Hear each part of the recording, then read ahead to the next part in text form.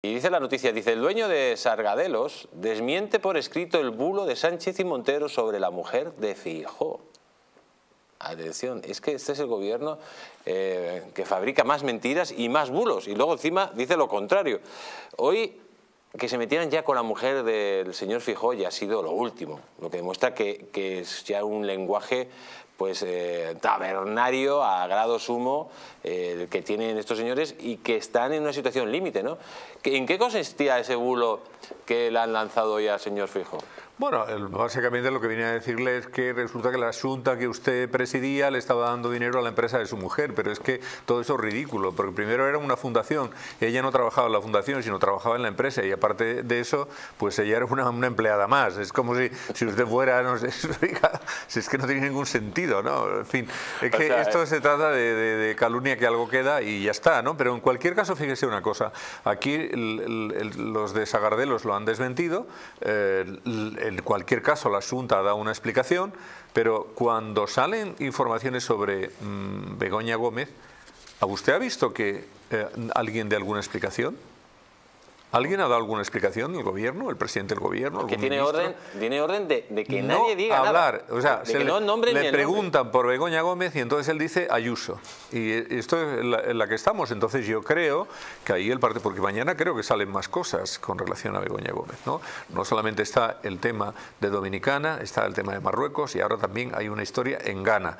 Y muchas más que puede haber, porque claro, eh, hablando, hablando de lo que consideran que es la oficina de, de, la presidencia del gobierno, ¿no? o de la esposa del presidente del gobierno, que eso pues, mm, es falso, no hay ninguna oficina del presidente del gobierno, eso en España no existe. En otras democracias, en otros países podría existir, pero aquí no existe. ¿no?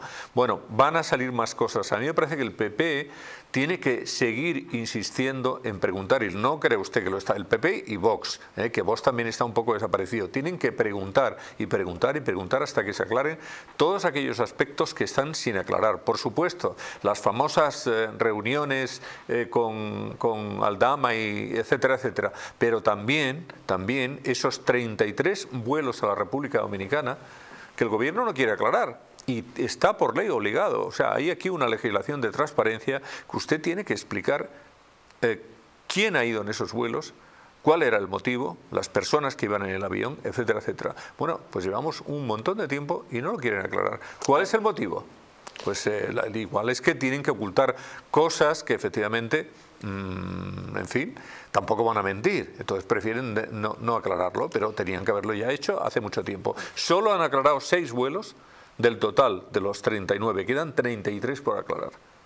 Están ganando tiempo, usted no sabe por qué está ganando tiempo, porque dicen que la máquina de destruir papel de Moncloa está estropeada y no se a hasta el lunes. Sí, pero bueno, eso está bien como, como cuestión eh, simpática, es, divertida, pero es muy difícil que puedan destruir nada con relación a los vuelos, porque como mientas, alguien te lo puede sacar, porque había, en esos vuelos pues había militares, había otras personas y siempre efectivamente puede haber quien diga la verdad con relación a algo en lo que es muy difícil que puedan mentir más bien lo que van a hacer es tratar de no dar ninguna información.